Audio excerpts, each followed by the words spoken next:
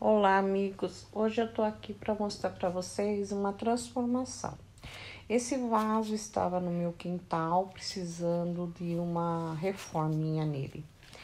Ele é feito mini jardim. Eu peguei esses, esse vaso, esses cacos de telha, pintei, pintei o caco também, porque iria usar novamente Reformei toda a pintura, dei uma nova vida pro vaso, procurando não deixar cair nada na terra, porque a terra eu ia é usar.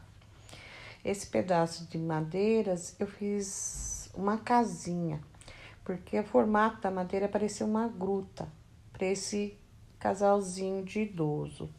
Em cima o telhado eu coloquei essas madeirinhas, né, com uma cola própria Aí formou essa grutinha para esse casalzinho de velhinho.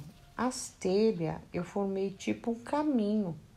Aqueles pedaços de telha eu formei tipo um caminho pro jardinzinho de inverno.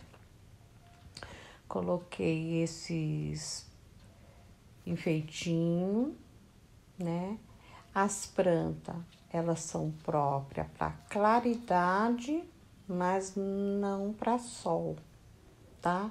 Porque esse vaso vai ficar num local que tem bastante claridade, mas não bate sol, só tem claridade.